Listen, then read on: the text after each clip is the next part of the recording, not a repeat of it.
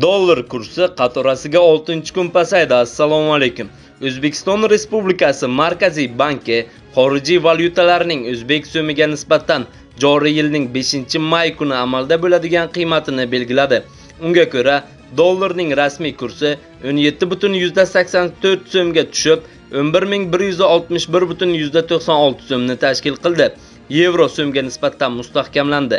1 yevro 45.97 so'mga qimmatladi va 11807.12 so'mni etib belgilandi. Rubl kursi ham oshdi.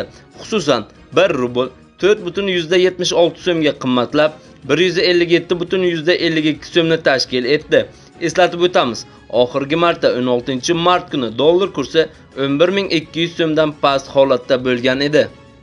Dunyoga tinchlik tilagan holda jamiyatimizda va xorijda bo'layotgan so'nggi yangiliklar, qizg'in munozaralar va bahsli suhbatlarni biz bilan kuzatishda davom eting.